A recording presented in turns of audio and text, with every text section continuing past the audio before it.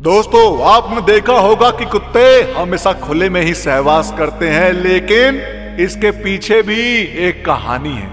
क्या? तो आइए जानते हैं।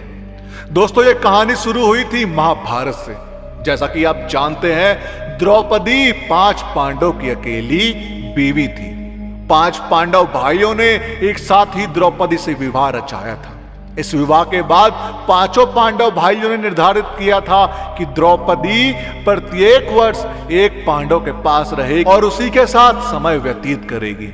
इनमें यह भी निर्धारित हुआ कि जब द्रौपदी एक पांडव के कक्ष में हो तो उस समय कोई दूसरा पांडव भाई उस कक्ष में प्रवेश नहीं करेगा। यहीं से शुरू हुई कुत्तों को श्राप मिलने की घटना। दरअसल जब द्रौपदी एक पांडव के साथ कक्ष में होती थी तो वह पांडव कक्ष के बाहर अपनी पादुकाएँ छोड़ देता था, ताकि दूसरे पांडव को पता चल जाए कि कक्ष में दूसरा भाई है और उस समय कक्ष में प्रवेश नहीं करना है। लेकिन एक बार जब अर्जुन द्रौपदी के पास कक्ष में आया तो उसने भी अपनी पादुकाएँ कक्ष के बाहर छोड़ दी।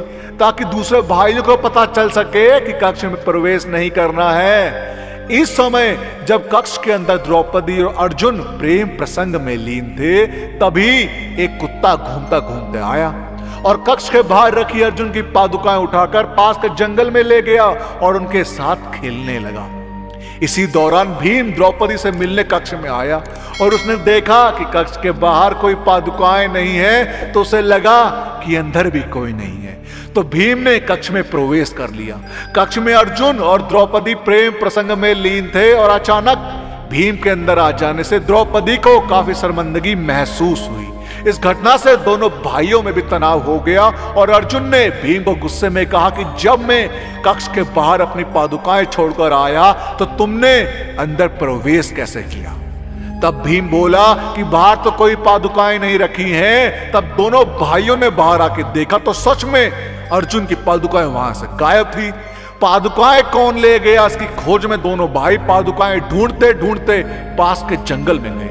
जहाँ उन्होंने देखा कि एक कुत्ता अर्जुन की पादुकाओं के साथ खेल रहा था। जब द्रौपदी को पता चला कि कुत्ते के द्वारा पादुकाएँ उठाकर ले जाने के कारण सा हुआ है तो द्रौपदी ने गुस्से में उस कुत्ते को श्राप दे डाला कि जैसे आज मुझे किसी ने सहवास करते हुए देखा है वैसे ही सारी दुनिया तुम्हें भी हमेशा सहवास करते हुए देखेगी।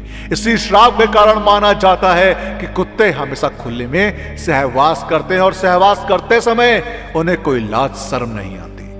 दोस्तों, आपका महाभारत से जुड़ी इस घटना के बारे में क्या कहना है, हमें कमेंट्स के माध्यम से ज़रूर बताएँ। और इस वीडियो का पार्ट टू चाहिए हो तो कमेंट्स में पार्ट टू ज़रूर लिखें। और साथ ही साथ अगर आपको हमारी आज की वीडियो पसंद आई हो तो टारगेट रखते हैं पाँच हज़ार लाइक अब पाँच हज़ार लाइक इतने ज़्यादा तो है नहीं। तो उस वीडियो को लाइक और शेयर करना ना भूले और जिन लोगों ने अभी तक हमारे चैनल को सब्सक्राइब नहीं किया, उनसे मेरी गुजारिश है कि हमसे जुड़े रहने के लिए और ऐसे ही और भी वीडियोस देखने के लिए हमारे चैनल को सब्सक्राइब ज़रूर करें।